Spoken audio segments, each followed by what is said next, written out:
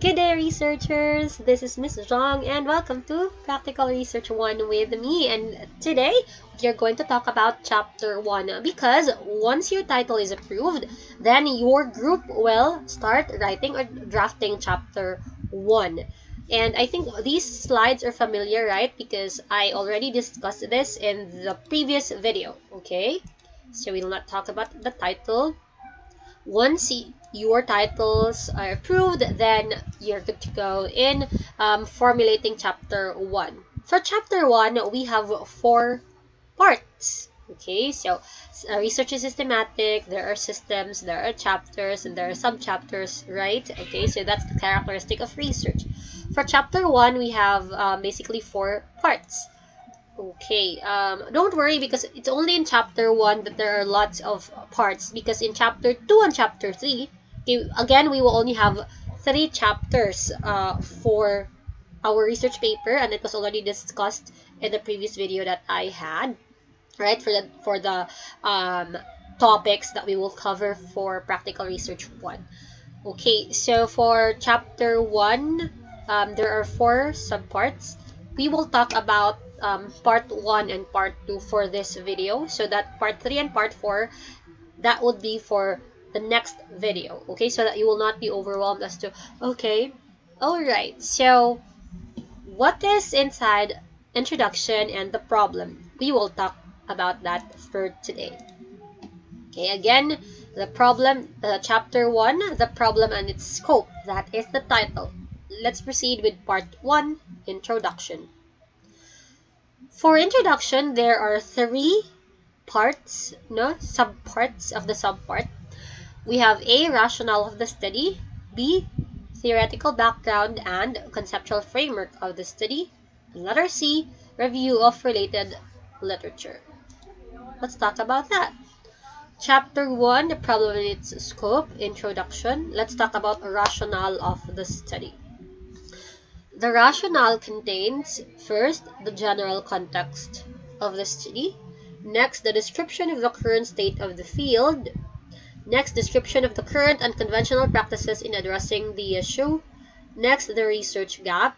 And next, how your current study fills in the gap. Okay. Um, next, rationale should be two to three pages only.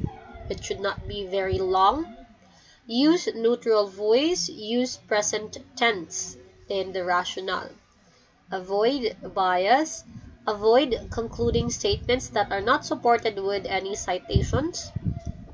The rationale serves as the background of the study and uh, explains the logical reasons um, why the researchers conducted the study. It should be arranged deductively, general to specific, or global to the national to the local um, context of the study. Okay. The rationale is a part of your paper where you inform the reader of the context of the study. When we say context, it means the situation or circumstances within which your research topic was conceptualized. Ideally, this part is written when you have already conducted a literature review and has a good perception of the topic, so you can articulate the importance and validity of the research problem. It is also in this part of the paper where you justify the need to conduct a research study about the topic selected by establishing the research gap. Earlier no unsa why what do we understand with the research gap? Unsa man miss? A research gap is an under or underexplored area of a topic that requires further exploration. The gap can be in the form of other variables, conditions, population, methodology, or test subject. To identify research gaps, okay, an exhaustive literature review regarding the topic is required. So before you can justify the research gap of your study, you really have to what read read similar studies know, about your topic so that you will have more idea. You may have to look for similar or related studies employing, so in this case, ato is qualitative man. So, qualitative method from legitimate sources and examine the gray areas. Reading through the discussion, conclusion, or recommendation sections of the article will help you know potential areas of study that need further attention. Identifying research gaps sometimes would even make researchers modify the research problem as they get noteworthy ideas from fellow researchers. While both rational and review of related literature involves reading past studies, they differ in some aspects. Okay, the rationale is at the introductory part of the paper with the purpose of relaying the importance of your research study. Okay, so the rationale will answer the following questions. What is already known about the topic? What is not known about the topic? Why do you need to address those gaps? What is the purpose of your study? While answering these questions, keep in mind that the studies you include in this part of the paper are laid down as part of the introduction and should not be discussed in great detail. The depth and length of the background information largely depend on how much information you think the reader needs to know, know so that they have the full grasp of the topic being discussed. Okay, so that's how you know you have to read other papers and diba, reading to the discussion, conclusion, or recommendation sections will help you identify nga, ah, okay, so in this part of the paper, um, so let's open the paper ha, and then here, diba, um, reading through the discussion or conclusion or recommendations, you will then know nga, ah, okay, so there is still a research gap that needs to be addressed. So, for example, um, na siya discussion using a koan. That's what. Okay, that's how it is. Journal discussion.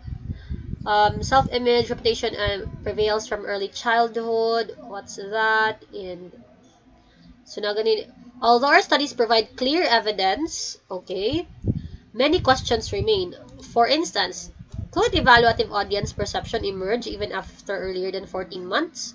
Okay, so there are questions actually in the research paper. You have to read through them so that you will know nga, ah, okay, so, um, even though nag-conduct lang study, so napag may question. This is what you call the research gap. Why? It's a gray area. It's not yet being explored, no? So, that is why you, researchers, should really um, read more about the research topic so that you will know, ah, okay, so this part of the research paper, um, this is a research gap and it needs to be um, filled so that um, we are able to, um, let's say, really give um, a background okay, this is what happens and um, this is the research gap. We will answer that gap. Okay, so for example, there's a rationale here and then um, the rationale should be when you write it down, uh, you have to establish what is your, yes, what is your um, research topic, the main research topic that you have. So in the case of this one, so their title is Students' Perception on the Academic Use of Social Media. So social media has become, and then what's that? And then some students' perception are, okay, so dapat sa first paragraph pa lang gani you are already presenting your research topic. What is that? Okay, and then express. And then, however, social media is a tool and then ano Many students and teachers of some schools in Cebu City has engaged in different social media sites. Okay, na sila kuan, no? Um, ano, and then this study was conducted to gather information and analyze the experiences of students towards social media use in academic. Okay, the purpose of study is to discover. So, dapat na adyo na makastate ang purpose. So, two, two pages na gani ni the end of that you have to spe uh, specify okay so that's the purpose of the study okay so uh, I have here um, practical research one um, advisor's note now, rational. Define and discuss the variables of your study and explain the use-a-priori context of the phenomenon. You have to uh, include that there's a need for you to really this um, delve deeper on this research topic because it's happening in University of Cebu main campus because your participants are in UC Pri in University of Cebu main campus. Okay, so that's why oh, this study is conducted too. And then, um, if you notice, national uh, parts of Cebu City and then parts of Philippines. Why? Because um, your, again, the rationale should be, no, arranged deductively. So, maguna, ang global context sa imuhang phenomenon. Next is the national context, the Philippine context of the phenomenon. And last is the Cebu, the province, Cebu City context of your phenomenon. Unsa na siya yung phenomenon imuhang i-choose. It's na research topic. Okay, so basically that's it for the rationale. I hope you're still with me. We are already 10 minutes through this video. Okay, and that is the rationale. Next, uh, part of the introduction, we have theoretical background and conceptual framework of the study. When we say theoretical background, this is an in-depth discussion of the anchor theories of the study. It should be in paragraph format. Write one paragraph per one theory. Anchor studies on at least two theory theories. So here's a sample of the first paragraph of a theoretical background. When you say theoretical background, it's a paragraph form na siya ha. You are going to review or write down unsa na ang inyong theories nga makasupport sa inyong study. One theory, one paragraph. So, dari, Erik Erikson's theory of psychosocial development. Okay, so now po example, no sample of the first paragraph of a theoretical background. Um, and then when we say framework, framework is uh, siya mga shapes, boxes, and lines. So the framework is the paradigm of the study make sure that it is in just one page. Okay. This is an example of a theoretical framework. So, another mga theories and then you connect with lines and then your title and the themes. Figure 1, it should be italics. So, let us try um, escape. Let's check sa no for example this theoretical theoretical background. So first na siya theory din he and then this theory is about Chirva okay what is that all about and then next theory is social information processing theory this theory is siya about um, adaptive theory by Koan isa na ang theorists And then, ano siya space because it should be in one page ang theoretical framework. So, natulo man lang theory. So, naitulo. Name of the theory and then ang authors should be in the parenthesis. No, parenthetical citation na siya. And then, okay, that's it. And na ay lines to connect title of your study, ilang title man students' perceptions of the academic use of social media, And then, sa ilang SOP kay duha rin lang gi-ask, what are the advantages and disadvantages? Okay? Then, figure 1 should be italics, and then the name is the schematic diagram of the conceptual and theoretical framework of the study. And if you've noticed, it's in really one page na siya, guys. Okay? So, that's how the framework should look like. Framework. And then, before sa framework, kay ang theoretical background, nag-discuss ka sa sa theory ni mo. Okay, so you discuss there unsa ni siya nga mga theories. And then, if you've noticed, mga gani kang theoretical background, naagid siya prefatory paragraph. So, before ka mag-discuss og theories, imo sa siyang ibutang ang prefatory paragraph. So, a paragraph that would give an introduction what will be the theoretical background all about. So, Researchers extend and gather information. The researchers will use the theories to widen data and information, investigate the proved theories to make study firm and clear. Okay, and then butang ko din sila. And then, after sa prefatory paragraph is the clincher or um, this is the last paragraph no sa imong theoretical background. The theory stated above has its own different claims and is related to the study for the reason that all is Uh, this study focuses on the experiences, causes, effects of the respondents and controlled themselves using media to give overall conclusion. So, dapat na siya'y um, clincher or concluding paragraph. So, mo na siya, no? First paragraph, prefatory, and then next is discuss the theories and mention the theorists. Last paragraph is summarize the key points from your um, paragraphs. Alright, that's it. And next we will discuss um, part 3 of the introduction.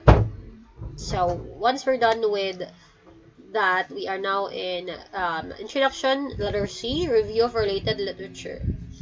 These are the purposes, um, no, the kind of purpose kanang na I review of related literature.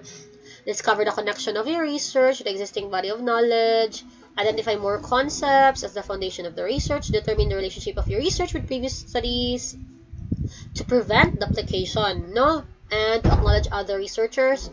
Uh, of course, part siya, no? Nga, you have to cite them, to avoid plagiarism, to acquire knowledge on the accuracy and significance of your research. Acquaint yourself with technical terminologies, determine possible gaps, conflict, open questions left from other researchers, which might help you in formulating and justifying your ideas.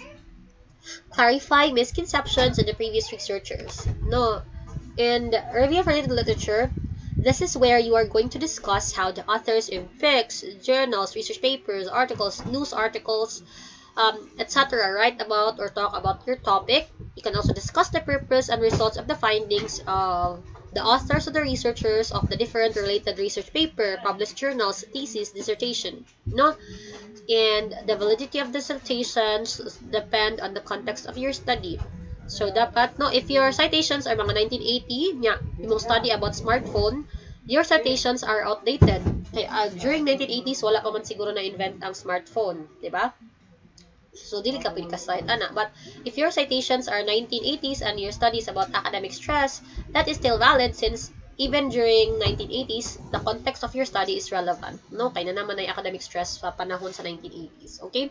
So, that's how you're going to know if your citations can be valid. Okay? And so sources of related literature, so literature daghan kay kaog mga sources ana books, mga mga journals, okay? And um naay rule, di ba, nga dapat within 5 years ka ang validity of the journal. If mag-discuss ka og result, finding, no? Results and findings of um, research paper, um, it's uh, dapat at least 2015 to 2020 na siya. If you're discussing sa results and findings of the journal. But if you're talking about your topic in general, again, it can be um, from this one. Okay, so I'll just uh, cut this in a bit. Alright, so where were we? Again, um, review of related literature when you're going to discuss concepts of your topic, then um, you're free with the citations. If you're going to discuss what are the results, what are the findings, what did other research uh, researchers find out in their results, in their discussion of the findings of their paper, of the research paper, then uh, let's follow 2015 to 2020 um, citations. Okay, that's only for results and findings let's have an example. Okay, um, here, so uh, for this paper, review of literature and a study. So this chapter presents the literature from both foreign and local sources. Alright, so review of related literature. Uh, this part of the study presents related literature reviewed by the researchers. Okay, and then uh, advantages, period. Uh, and then they, they uh, reviewed unsa man na there are two types of social media users digital and digital natives okay. Gidiscuss nila ang concept kay unsa man nila ha um, social media use right? So mo na ilang ipambutang ang mga concepts. So nagamit sila og paragraph heading. What's a paragraph heading? You should use that in order to guide nga ang kaning mga paragraphs. It's about yes it's about the advantages. Okay. Kay mo man ang naa sa ilahang statement of the problem. What are the advantages of uh, what are the advantages of uh, social media use, right? In school. Academic man yun. Okay? And then, so if you've noticed na ay mga citations na siya, in-text citations, kasagaran kay parenthetical in-text citation. Kani, according to, see, basta, mag-according to mo, ginaksagaran sa um, narrative citation, but you minimize the use of kanama according to, no? Okay? Now, next kay disadvantages. Kaya sa may mga disadvantages ani since again ang ilang paragraph heading kay naa sa statement of the problem. What are their questions in the statement of the problem should be the guide sa ilahang paragraph heading. Okay, that's how you should write your ano ha, your paper.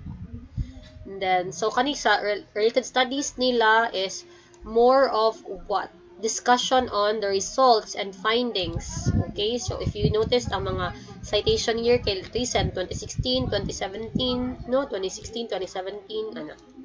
Okay, so that's it for a re uh, review of related literature. Okay, let's present that. And um, please discuss no on the concepts unsa na siya. Naman Arrange related literature review from the oldest citation year to the most recent citation year. Again, mo to paragraph headings no to guide the readers as to the content of the paragraphs in your related uh, in your literature review. These paragraph headings are the variables in your statement of the problem. And then, di ba sa ilaha na kay nakita advantages, disadvantages, nga yung kanaman because mao man na ang pangutana sa ilang SOP, duha ra ka buok. Unsay advantages, unsay disadvantages sa um, social media academic views. Okay? That's it. And we're done with chapter 1 introduction. Let's have chapter 1 the problem, which is the next part. Okay, so the problem. So, manata sa 1, nasa 2 na ta. Okay, so second part of chapter 1, the problem, statement of the problem, significance of the study, and scope and limitation. So basically, there are three sub-parts.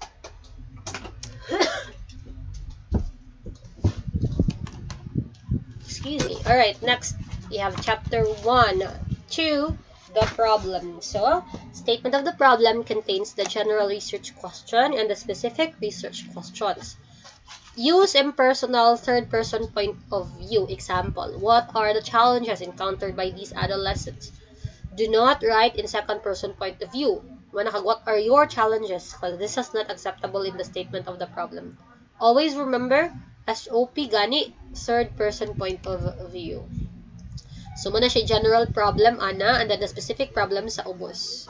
So, earlier sa example nako, mao ni SOP nila. This study investigated a perception towards academic use of social media during the second semester of school year 2019-2020.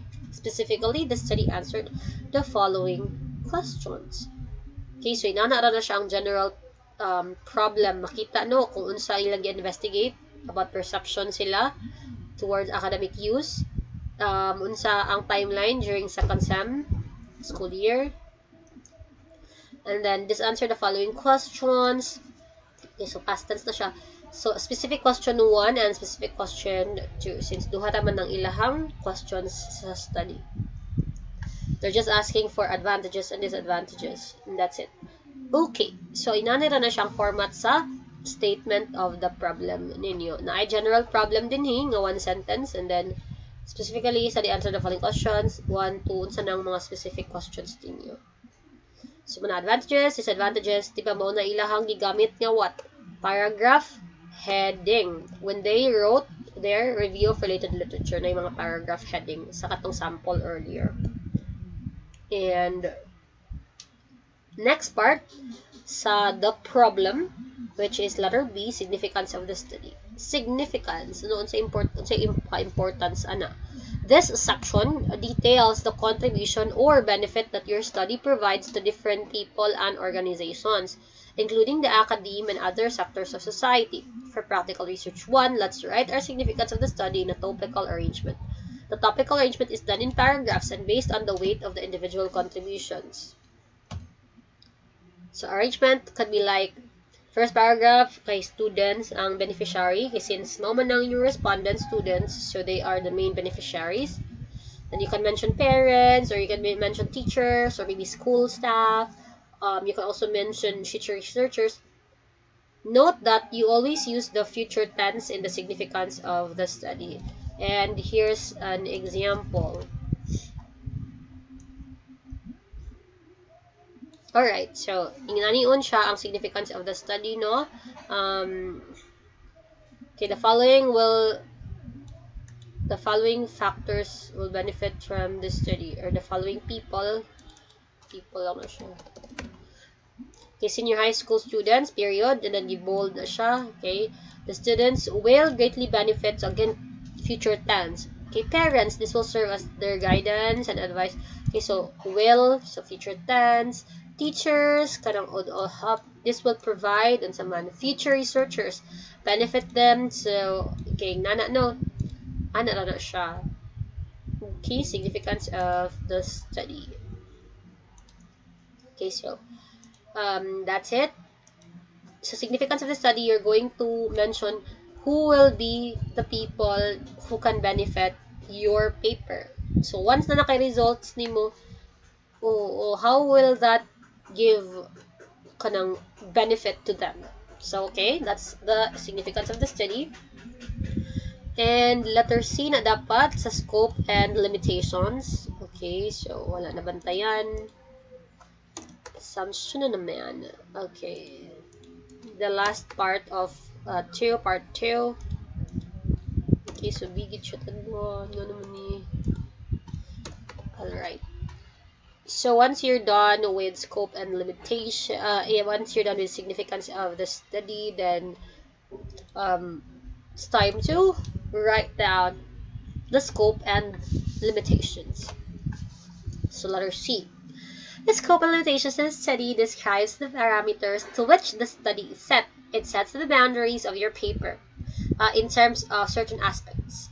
The scope specifies the coverage of your study such as the variables, population, participant, no, and timeline. Limitations cite factors of your study that are not included or excluded. So, scope, unsay gi-appeal sa inyong papel, and limitation, unsay wala. Unsay wala gi-include. You may state the reason why wala siya napil ang certain variables. A clearly written scope and limitations will make it definitely easier to answer the questions which are related or not related to your study. Components of the scope uh, and limitations include the following items but not limited to no? What are the variables to be included and excluded? Why are you doing this study? When are you going to conduct the study? Where are you going to gather your data? Who will be your respondents? How are you going to collect the data? Okay so with that in mind, okay, let's have an example. Scope and limita uh, limitations. So, kana, coverage. Ay, naamday ko sa example here. There. Um, let's just read that so that you will have an idea. So that my example. You may use the following phrases when writing the section. Sample. The coverage of the study is to examine the factors on how social media affect the students and its impact on their academic performance in University of Cebu. Uh, senior high school department for the school year 2019-2020, the study focused on the students' experiences towards academic use of social media. Asaman, senior high school, the researchers have limitations to the information, ideas, experiences shared by the informants. Ten students were chosen for all academic tracks no, and all of them were you uh, as respondents of the study. The researchers only selected grade 11 and grade 12 to be the informants. Moreover, the respondents' answers to the interview, so ang ilang pagkuha sa mga information or data kay interview, to satisfy the questions asked in the study. So, we will discuss the next parts of chapter 1 on the next video discussion kay Marcha. Taas-taas gito siya. So, let's um, escape, no? Again, in writing your chapter 1 na atay mga parts sa chapter 1. So, nag-start sa introduction, the rationale of the study. Again, imo siyang iko, uh, you have to write in the rationale unsay context sa study, unsa ang research gap, why are you conducting the study, what's the purpose of the study? How are you going to fill in the research gap sa study ninyo? Then theoretical background and conceptual framework of the study. What are the theories that will uh, what that you will anchor your study upon? No? Um, for example, sa kaning example na to nga ang ilahang theories kay since it's more on social media academic use man, they have the social media engagement theories, um, social media information theory, adaptive structuration theory. You're just going, miss, as man yung ana, you have to look for theories um, using the internet since that's the fastest way that we can look for theories. Okay? And then sa letter C, sa introduction kay review of related literature. Sa ganina, you're going to read books. Um, you're going to read research papers, online journals, what do they say about your topic? I-review ni mo din ha, sa imong nabasahan, para you have a foundation of your study. That's the introduction. Two, the problem. What are the questions on your statement of the problem? Again, ato'y general question in one sentence, and then specific research questions. Letter B, significance of the study. Who are going to benefit from your study. I-mention ang mga people nga maka-benefit sa study. Ang letter C, scope and limitations. Asa taman ang imuhang study, no?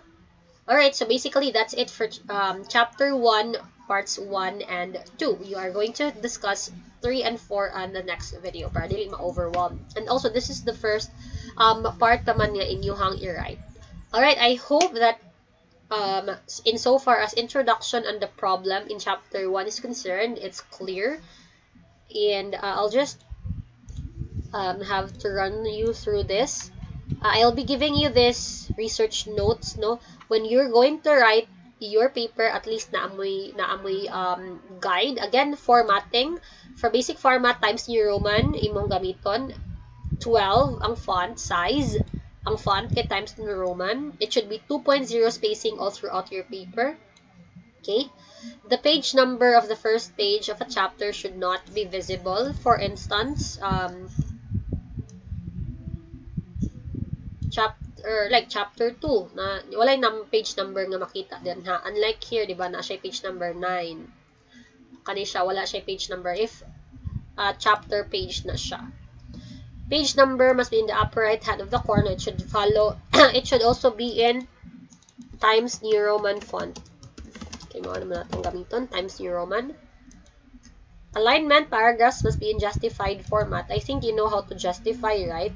Mura na siyang i control A baka ha and then this kaninga part no justify align text to both left and right margins adding express trace if necessary. Okay. Dapat justified ang format sa imuha papel 2.0 again, no?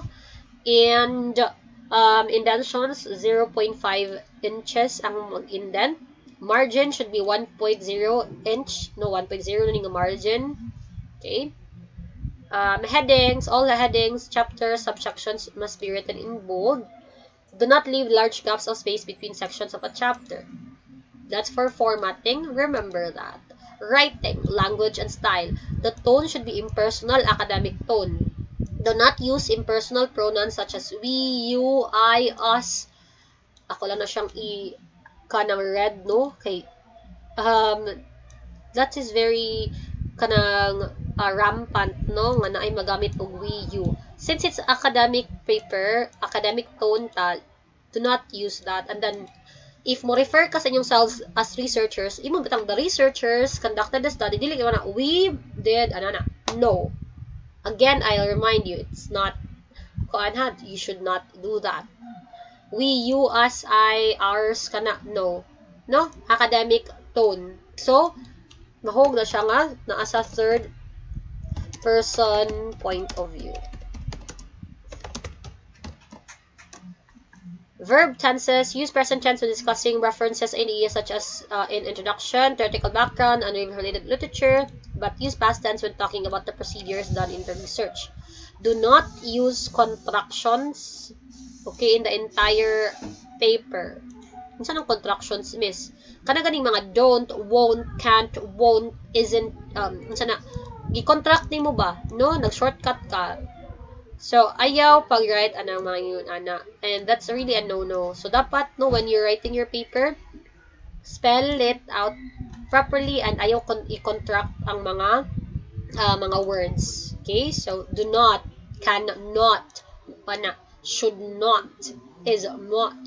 Okay? Kasagaran nga sa mga mga contractions din ha. Ayaw gamit ta, ana siya. Okay? Dapat walay mga contractions sa papel.